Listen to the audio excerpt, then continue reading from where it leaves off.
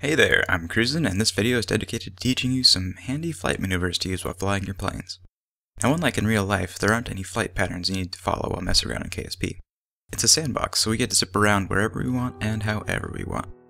What this means is when it comes to flying, as long as you know how to climb and turn, you can get by just fine. That's all well and good, but you should probably learn some actual maneuvers. I'll quickly go over a couple that I use on a regular basis. Alright, so the two, or actually three maneuvers I'll cover are the J-turn, Immelmann, and reverse Immelmann. I regularly use these whenever I need to change directions in a hurry, but don't want to waste time turning around. The first move is called the J-turn, or the Herbst maneuver, uh, which you'll see me completing right now. This move is typically reserved for modern fighter jets. Um, if you find the pilot in your next commercial flight doing this, I'd recommend panicking. But in KSP, it can be fun to pull off. Before we get started, if you haven't watched my flying lessons video, then I highly recommend you click the link below, which will open a new window for you to watch the episode. It covers the very basics to get you going. Okay, back to the J-turn. There are a couple steps to doing this maneuver. The first is reducing the throttle since the move is easier and smoother to pull off at lower speeds. The second is pitching up to about 70 degrees, this climb helps us slow down quickly and also gain us some altitude to prevent us from crashing into the ground. Keep climbing until you've reached about 70 to 85 meters per second. At this point, pull up by holding the S key. You want to completely flip back so that your nose is pointing down at the negative 45 degree line in the brown region of the nav ball. You can choose if you want to throttle back up or not, but once your prograde vector is caught up with your nose indicator, do a half roll with the Q or E key to face upright again. Choose when you want to level off, and you will have successfully completed a J-turn. Be aware that when you're pointed down, you'll be gaining a ton of speed and dropping altitude like crazy, so be ready to pull up if you need to.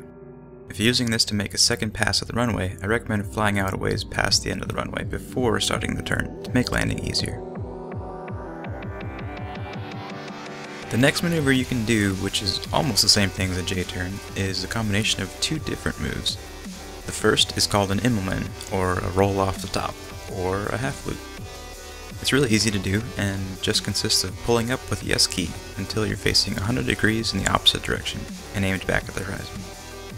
Once your prograde catches up, roll 180 degrees to face upright, and you're done. This gains you some altitude and gets you headed back towards the runway.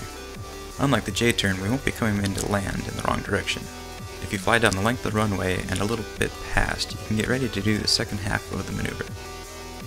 I recommend gaining some more altitude while you taxi along, as the next move drops you down pretty quick. This maneuver is called a split S, or a reverse Immelmann. You can probably guess what it involves. To start the maneuver, you just do the Immelmann backwards. Start with rolling the plane over 180 degrees. Immediately after that, pull back by pressing the S key.